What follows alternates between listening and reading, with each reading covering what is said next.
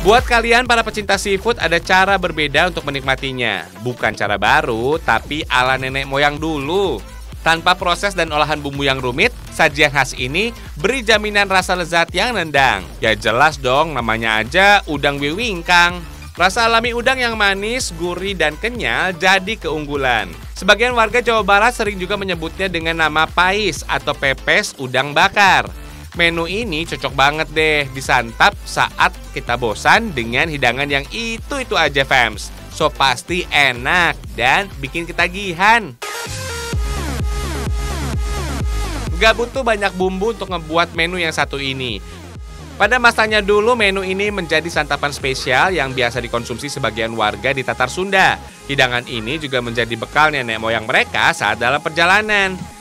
Racikan bumbu pendukungnya mudah dibuat. Gak ada proses ulek-mengulek, cuma potong dan iris-iris aja fams. Seperti kebanyakan menu pepes atau pais dari Sunda, surawung atau daun kemangi nggak boleh terlewatkan. Oh iya fams, sajian ini asalnya dari wilayah Kabupaten Garut, Jawa Barat. Katanya sih menu ini biasa dibuat oleh sebagian masyarakat di sekitar situ Bagendit. Maklum deh, kawasan itu memang kaya akan hasil udang, tapi bukan udang yang seperti ini ya fams. Udang dari situ Bagendit ukurannya kecil-kecil. Supaya makannya nanti lebih puas, pakai udang ukuran besar jelas lebih menggoda. Katanya sih fams, terlalu banyak mengkonsumsi udang bisa bikin naik tekanan darah. Tapi fams, udang yang dikonsumsi bersama kulitnya juga baik loh bagi kesehatan. Mampu perangi obesitas dan menurunkan angka kolesterol. Tentunya dengan kadar konsumsi yang gak berlebihan. Fams, pais atau pepes menjadi teknik memasak yang cukup populer di tanah Sunda.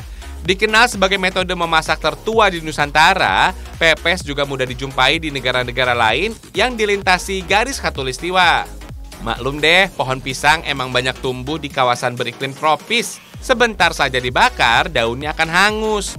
Harus tebal lapisannya supaya udang wiwingkang matang dengan sempurna. Sip lah.